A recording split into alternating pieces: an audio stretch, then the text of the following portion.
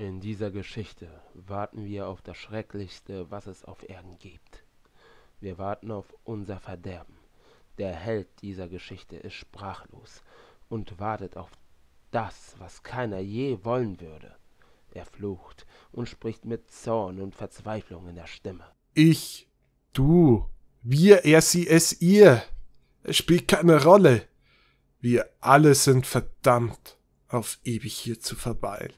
Dann sprach ein anderer, auch ziemlich ängstlich.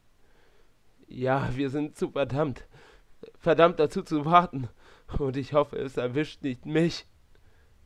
Dann wurde er als nächstes aufgerufen, um in das Kabinett zu gehen. Johnson, Sie sind an der Reihe. Kommen Sie rein. Fuck, fuck, fuck, fuck, nein, ich will nicht. Ich will da nicht rein.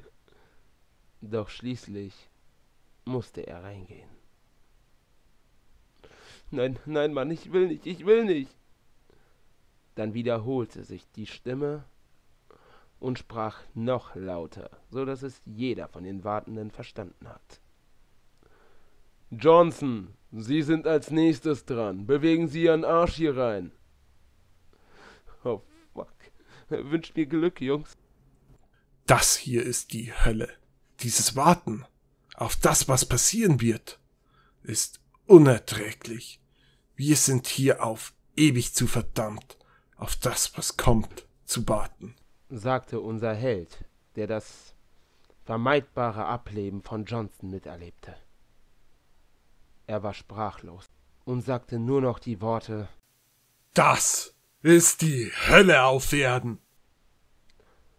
Aber worauf warten Sie alle dort? Was ist so beängstigend? Was ist so schlimm an diesem Warten? Das kann ich euch verraten. Sie warten nämlich auf das, was keiner will. Auf einen Job. Auf einen Job, der so abartig ist, dass ihn keiner machen wollen würde. Was ist das für ein Job? Ganz einfach. Ein Job bei McDonald's. Äh. Ekelhaft.